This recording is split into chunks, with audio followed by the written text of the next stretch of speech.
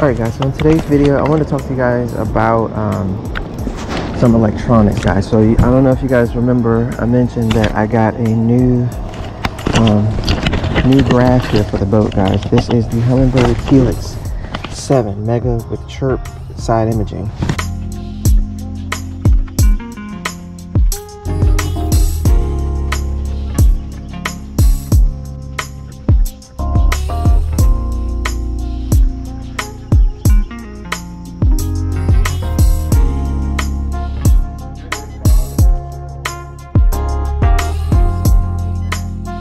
I'm going to be using this throughout the day and kind of showing you guys a little bit about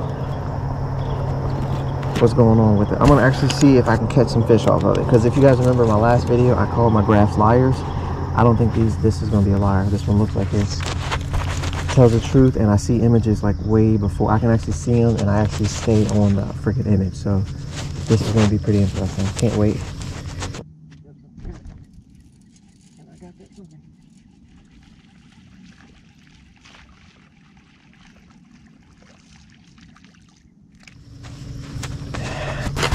You guys can see the conditions for the day, cloudy, overcast uh, conditions.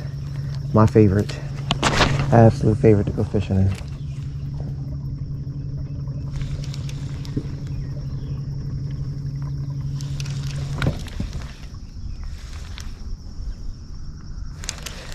So I think my graphs are going to take a little getting used to. I'm at about 69 degree temps I really wish it was 940, but it's not, so I gotta figure out how to change the time.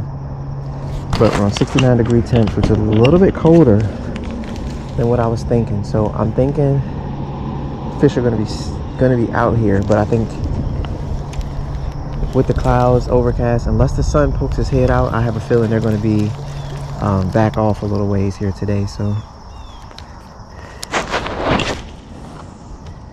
I got what looks to be the top of a little hump here.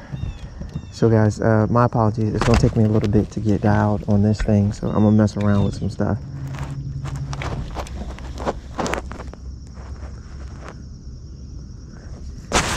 Now I'm not gonna show you too much on the Humminbird because I'm not an expert on it. So this is my side imaging.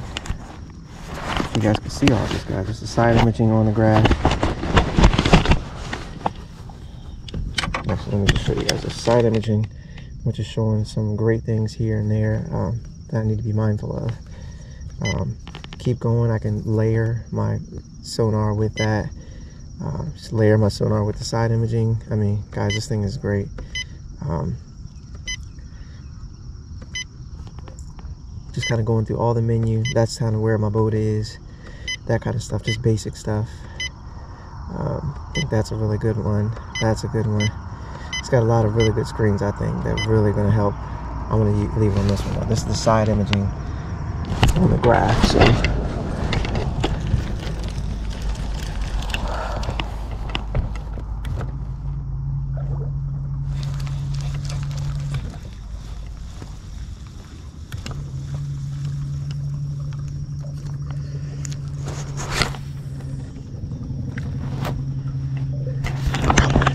try to ease my way up here.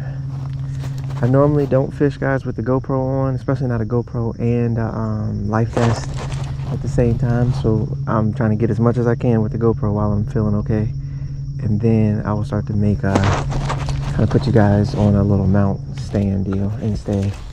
All right, I'm gonna stay back about right here on this area.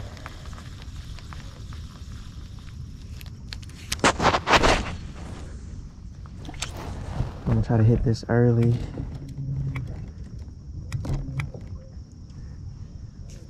Try to position myself so I can go down it and stay way back off of it.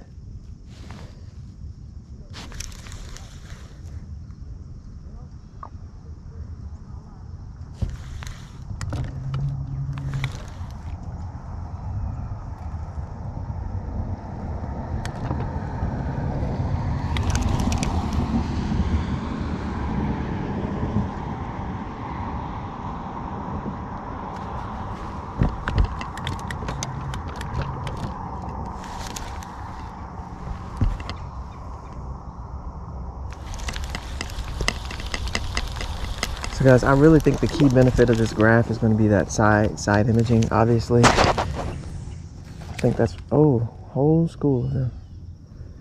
Should throw my top water in there.